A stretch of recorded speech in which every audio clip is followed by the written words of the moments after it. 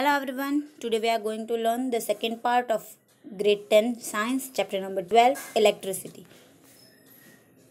So in this video we have to learn about resistance. Already in first video we learn about the conductors, insulters, Ohm's law and resistance. Then कि वहाँ पे उस equation में क्या हुआ था constant की जगह सॉरी प्रोपोर्शनल की जगह पे एक कांस्टेंट ऐड किया गया था and that constant is nothing else but resistance. So, what is resistance? That an electron traveling through the wires and lots of the external circuit encounters resistors. कि क्या होता है कि जब भी सर्किट में से इलेक्ट्रिसिटी पास होती है इलेक्ट्रॉन्स पास होते हैं, तब क्या होता है?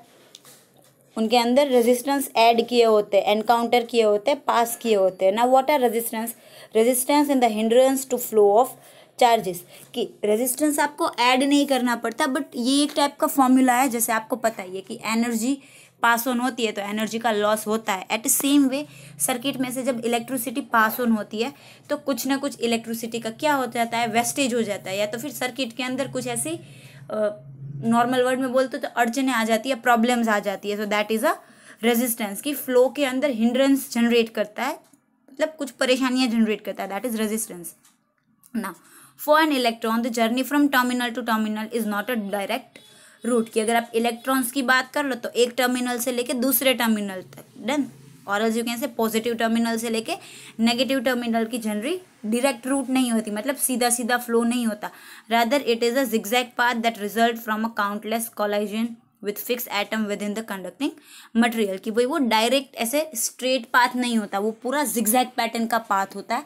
उसमें से क्या होता है? इलेक्ट्रॉन को पास ऑन करके जाना होता है। तो उस पाथ में बहुत बहुत सारे कॉलिजन्स होते हैं, बहुत सारे रेजिस्टेंस आते हैं उनको, बीच में बहुत सारी प्रॉब्लम्स आती है। उनकी वजह से क्या होती है? कुछ कुछ इलेक्ट्रिसिटी लॉस हो जाती है। दैट इज़ रेजिस्टेंस की जो बीच में प्रॉब्लम्स आती है that is resistance now the electron encounters resistance a hindrance to that movement done. तो इलेक्ट्रॉन के क्या आता है? बीच बीच में जो अड़चने आती है that is resistance and the SI unit of resistance is ohm कि रेजिस्टेंस का ऐसा यूनिट कौन सा है? ओहम ओहम का लो हमने जब कंप्लीट किया तब प्रपोजनल की जगह पे कांस्टेंट रजिस्टर लिया रजिस्टर लिया था। सो so, रेजिस्टेंस का ऐसा यूनिट क्या हो गया? ओहम कि अगर आपको रेजिस्टेंस को मेजर करना है you have to measure in ohm that means one ohm is a resistance two ohm five ohm ऐसे सर्किट के रेजिस्टेंस होते हैं। Done here is a image of resistance कि इतना छोटा सा होता है ये रेजिस्टेंस ना what are the factors affecting resistance कि भाई रेजिस्टर्स को कौन कौन से फैक्टर्स अफेक्ट करते हैं? So the first point is length of conductors कि भाई कंडक्टर्स की लेंथ कितनी है? Then area of cross section of the conductors then एक तो वो वायर कितना लंबा है? जितनी वायर की लेंथ ज़्यादा होगी, जितनी सर्किट लंबी होगी उतना रेजिस्टेंस ज़्यादा होगा then area of cross sections of the conductors की उनकी थिकनेस कितनी है? क्रॉस सेक्शन मतलब थिकनेस कितनी है उसकी? उस पर डिपेंड करता है. Then nature of material of the conductor की वो जो सर्किट है आपकी वो उसका मटेरियल किस टाइप का है? उनका मटेरियल का नेचर कौन सा है? एंड टेम्परेचर ऑफ़ कंडक्टर की भी टेम्परेचर कितना है? इन सारी चीज़ों के ऊपर क्या करता है? रेजिस्टेंस रिले करता है और एल्स अफेक्ट करता है. नाउ अगर आपको रेजिस्टिविटी फाइंड आउट करने का बोले तो it had been found by an experiment कि एक एक्सपेरिमेंट के थ्रू आप क्या कर सकते हो? रेजिस्टिविटी फाइंड आउट कर सकते हो। Now the resistivity of the given of the sorry the resistivity of the given conductor is directly proportional to the length कि आपने आगे जितने भी अफेक्टिंग फैक्टर्स पढ़े, उनको यहाँ पे आपको प्रपोजनल या इनवर्स प्रपोजनल के फॉर्म में पढ़ना है। तो क्या बोला था हमने आगे की लेंथ उसके ऊपर अफेक्ट करती है। देन तो किस तरीके से अफेक्ट करती है? दैट विल अफेक्ट डायरेक्टली और else you can say in proportional they are directly proportional यहाँ पे आप देख ही रहे हो रेजिस्टेंस से डायरेक्टली प्रपोजनल में है उसकी length at the same way अगर आप उनके क्रॉस सेक्शन की बात कर लो और एल्स आप एरिया बोल लो कि जो आपका कंडक्टर है, जो आपका वायर है, उसका एरिया कितना होगा? So the resistivity of a given conductor is inversely proportional यहाँ पे आपको इनवर्स प्रपोजनल दिख रहा है. Done that R is proportional to one upon A A stand for area कि भाई आपने जो मटेरियल लिया है, उसका क्रॉस सेक्शन कितना होगा? तो ये हो गया आपका equation one this one is your equation number two then अब इक्वेशन वन और इक्वेशन टू को क्या करो? अगर आप कंबाइंडली लिखोगे तो क्या होगा? R is proportional to L upon A done again the same thing done क्या आपने प्रपोजनल फॉर्म में लिखा? R is equal to L upon A then अब उन दोनों इक्वेशन को मर्ज करोगे तो प्रपोजनल की साइन हटेगी। तो प्रपोजनल की साइन की जगह पे क्या आ गया? वहाँ पे पी ऐड किया आपने। Then so R is proportional to P upon L upon P into L upon A then proportional की साइन निकल के क्या ऐड हुआ है? पी ऐड हुआ है। अब इस पी को क्या बोलेंगे, वो हम बाद में बताते हैं। Then so R is equal to L upon sorry R is equal to P into L upon a.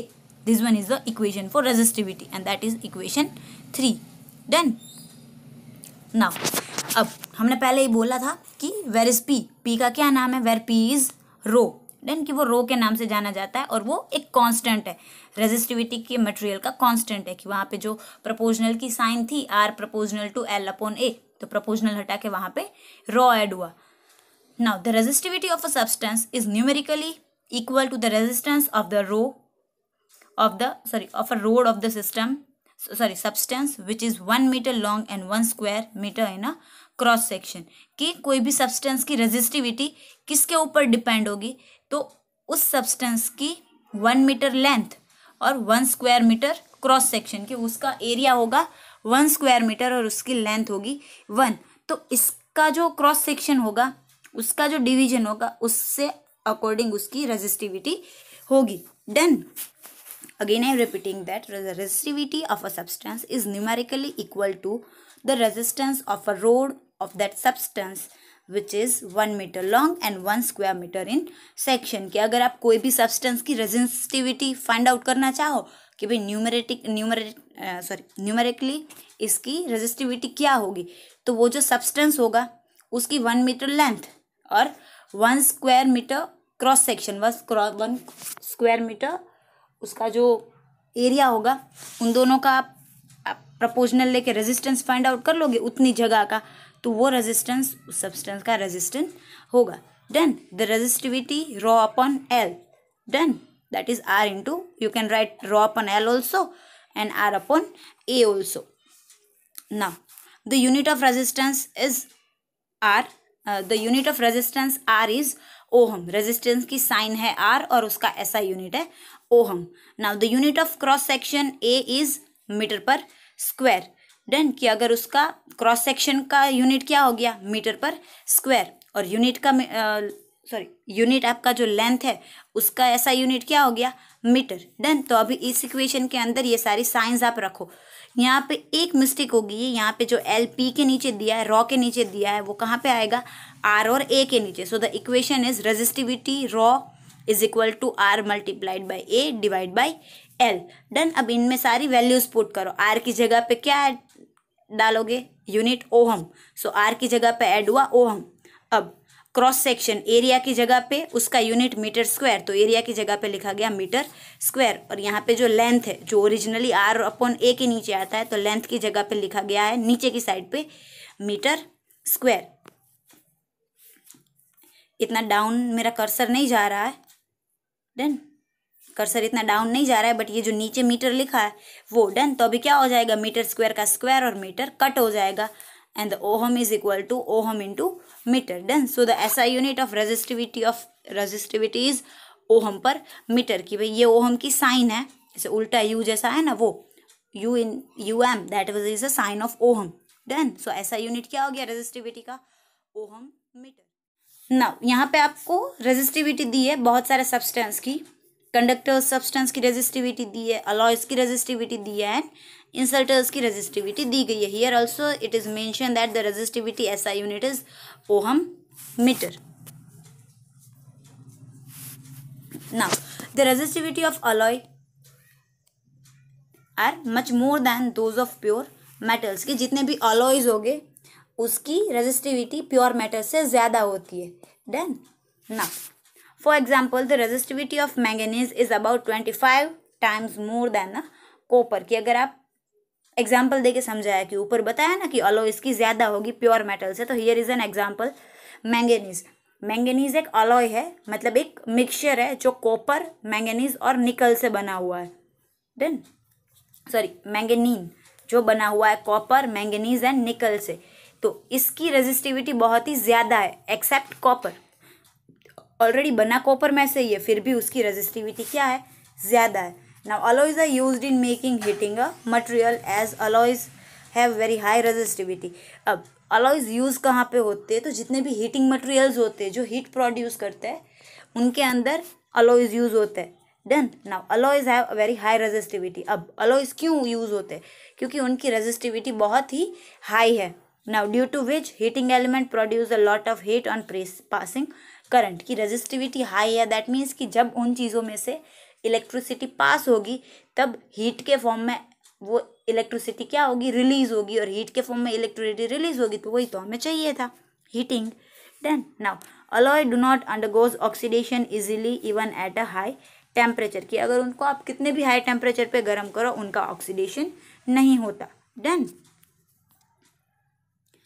thank you everyone have a good day